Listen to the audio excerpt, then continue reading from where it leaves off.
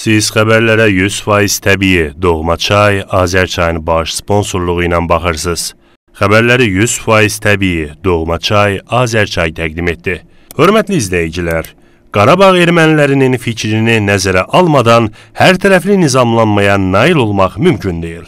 Yeni müsavat xəbər verir ki, bu sözləri Avropa İttifaqının Cənubi Qafqaz və Gürcüstan böhranı üzrə xüsusi nümayəndəsi Toyvo Kular Azərbaycana səfəri ərəfəsində Azadlıq Radiosunun erməni bürosuna müsahibəsində deyib. Erməni jurnalistin Avropa İttifaqı Şurasının prezidenti Şarl Michel 22 may 2022-ci ildə Brüsseldə Azərbaycan və Ermənistan liderləri ilə üç tərəfli görüşdən sonra ədalətli və davamlı sülh üçün bütün əsas məsələlər bütün maraqlı tərəflərin iştirakı ilə müzakirə edilməlidir söyləyərkən, Qarabağ ermənilərini də nəzərdə tutubmu sualına Klar belə cavab verib. Hesab eləyirəm ki, yekunda Qarabağ erməniləri həll prosesinin bir hissəsi olmalıdır. Tamamilə aydındır ki, Qarabağda yaşayan insanlar hər tərəfli nizamlanmada əsaslı şəkildə maraqlıdırlar. Şəxsən mənə görə bu adamların rəyi, baxış bucağı nəzərə alınmadan belə bir həllə necə nail olmaq olar? Avropa Birliyi rəsmisi ardınca yenidən iki başlı danışıb. Biz hamımız bilirik ki, münaqişə necə başlayıb. Onu qəti olaraq yoluna qoymaq lazımdır. Michel öz bəyanatında çox şey qeyd etməyib.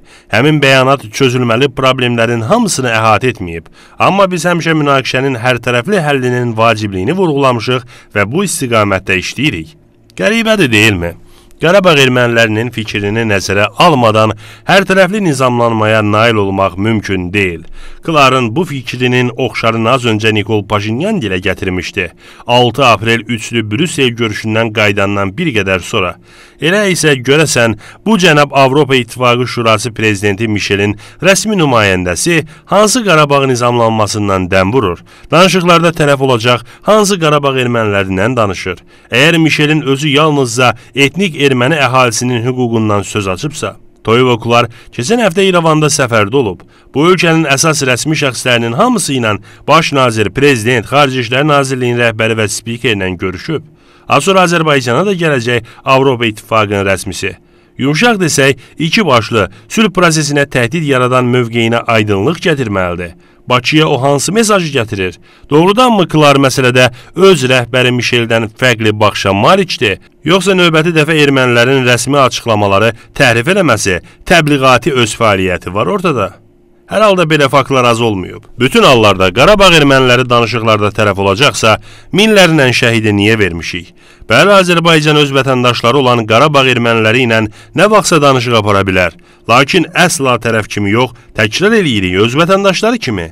Onlara heç bir siyasi status vəd olunmadan, Azərbaycan konstitusiyaya görə unitar dövlətdir və burada hansısa etnik azlığa digər etnik azlıqlardan üstün imtiyazlar verilməsi mümkün deyil.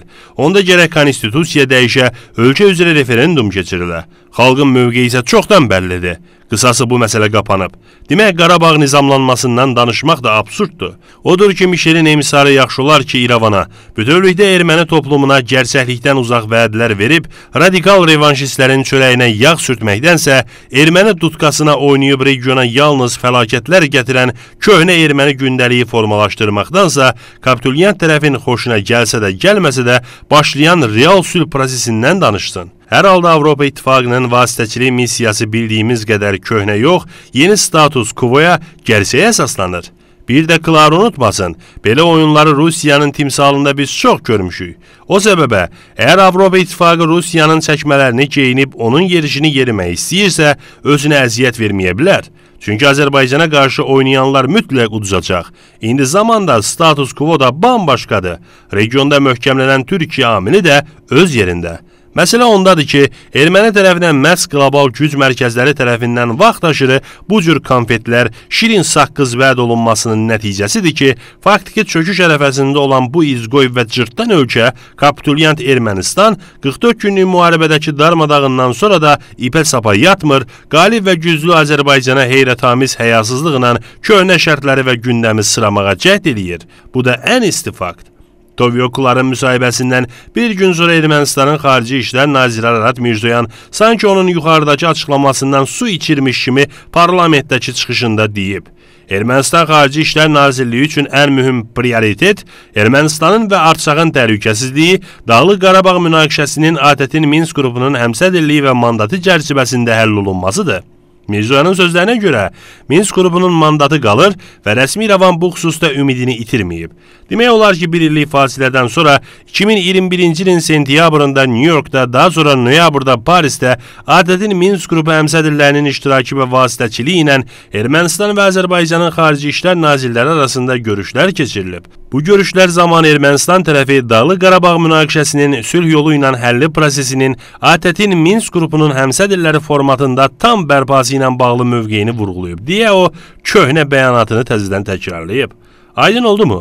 Ritorikalar necə də bir-birinə oxşardı. Sadəcə indi İrəvanın köhnə bayatısını Kların timsalında Azərbaycana təzə aranjmanda sıramaq istəyirlər. Keçməz. Hörmətli izləyicilər, Rusiya sülh məramlarının Qarabağ mərcərəsi sona çatır. Biraz da bundan danışaq. Politoloq Ələ Musa İbrahimov deyir ki, Azərbaycan tərəfi növbəti təxribatların qarşısını da çox çevik şəkildə alacaq. Bu istiqamətdə müəyyən işlər də aparılır. Separatçı terrorçu rejimin qondarma dövlət nazirinin dediyi kimi, sülhməramlı qüvvələrin Azərbaycanda qeyri-müəyyən müddətə qədər qalması məsələsinə gəldikdə, qeyri-müəyyən müddət bəlkə də elə bizim xeyrimizi işləyə bilər. Yəni ki, biz 5 il tamam olmadan bu müddət bitə bilər və Rusiya sülhməramları Qarabağdan yola salına bilər. Mənə elə gəlir ki, Rusiyada müəyyən qüvvələr məhz sülhməram adamlarını ortaya atmaq istəyir. Onlardan bir vasitə top kimi istifadə etmək niyyətindədir.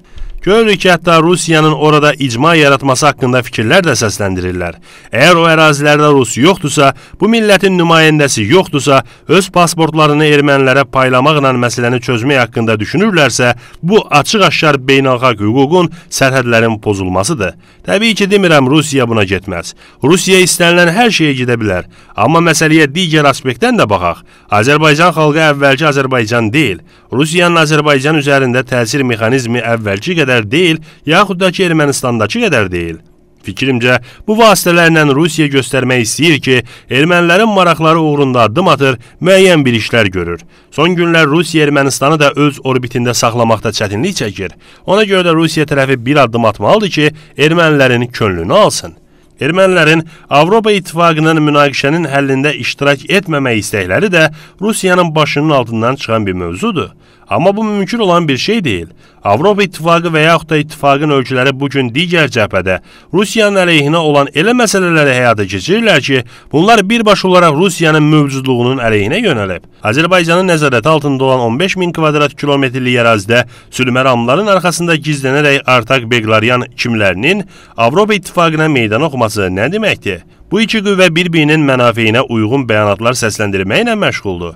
Bu cür separatçılar hesab eləyirlər ki, hə, indi Avropa İttifaqı ilə Rusiya arasında münasibətlər gərgindir. Əgər biz bəyanat versək ki, Avropa İttifaqı Azərbaycan-Ermənistan münasibətlərinin nizama salınmasında iştirak etməməlidir, bu da Rusiyanın xoşuna gələcək. Ona görə də belə bir bəyanat verək. Yaxud da ki, Rusiya hesab eləyirsə ki, Ermənistanda olan Ruspərəst qüvvələri yenidən özünə bağlamaq üçün, onların yanında nüfuzunu biraz da artırmaq üçün Rusiya mediasında separatçılara söz imkanı yaradaq ki, xoşlarına gəlsin, heç nəyə nail ola bilməyəcəklər. Bunlar artıq əməl olaraq heç nə eləyə bilmirlər. Bu imkanları məhdudlaşdığı üçün açıqlamaları ilə ağıl bulandırmaq variantını seçiblər.